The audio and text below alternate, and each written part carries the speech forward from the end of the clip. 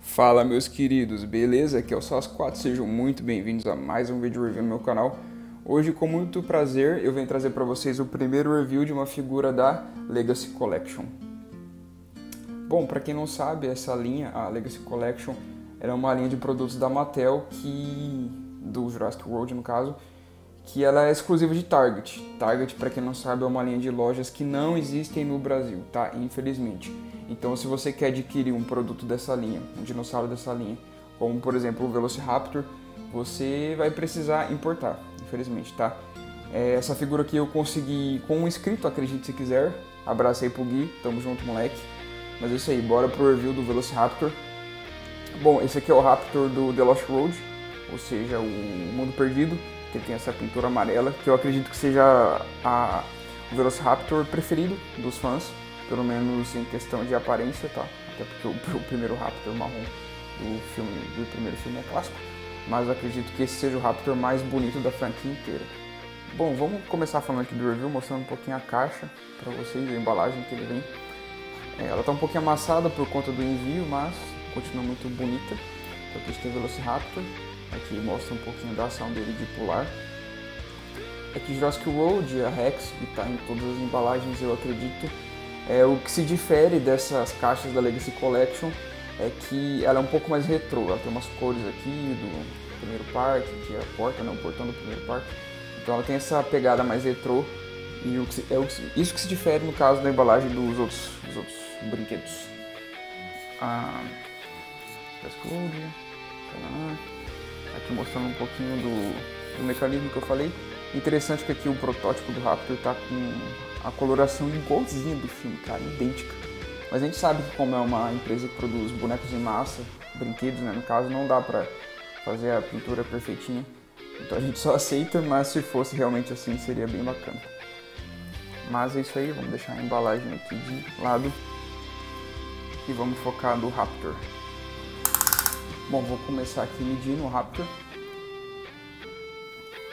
Da puta da cauda até o focinho, ele tem cerca de 20 centímetros Vamos ver de altura aqui do chão até a ponta da cabeça, ele tem cerca de 8.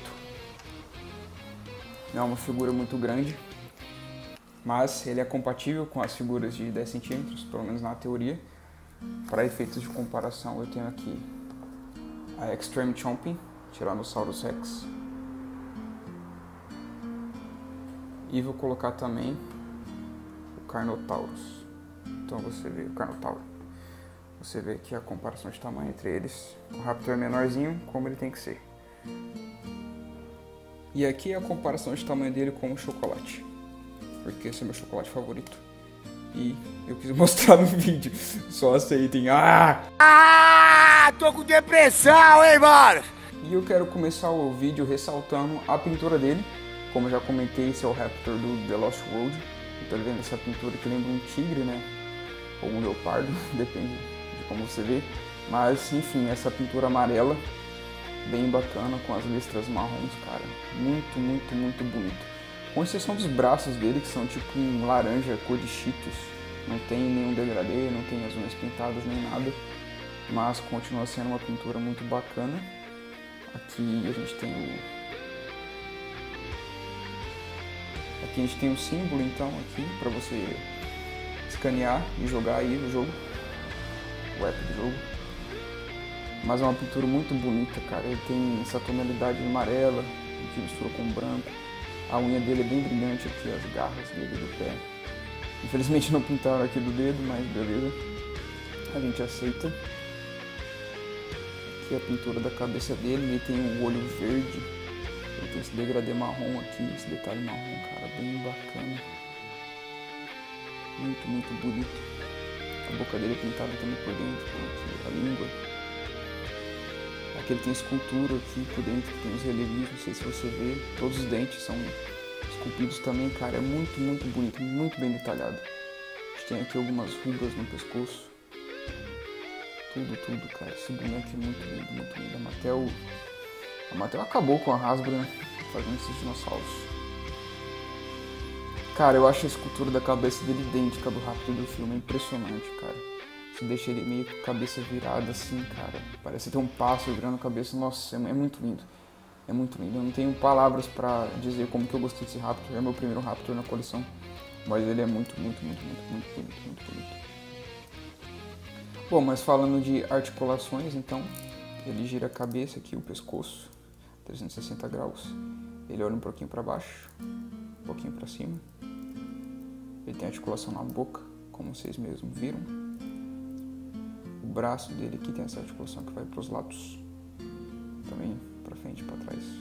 Ele é bem molinho, ele é de borracha, para frente e para trás, para frente e para trás. Deixa eu colocar aqui, pronto.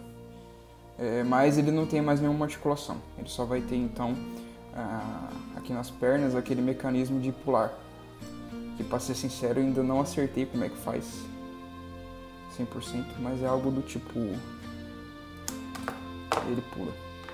Tentar então simular aqui o mecanismo de ataque dele, né, que é esse pulo, em uma figura humana. Não é uma figura compatível com a linha do Jurassic World, mas acho que na prática, na vida real, o Velociraptor seria mais compatível com esse tamanho. Bom, mas vamos tentar. Quase, quase. Quase que acertei. Um pouquinho mais pra cá.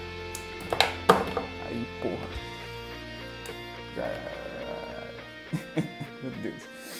Mas, brincadeiras à parte, é uma figura muito bonita e tem esse mecanismo para brincar que eu acho que as crianças vão gostar muito.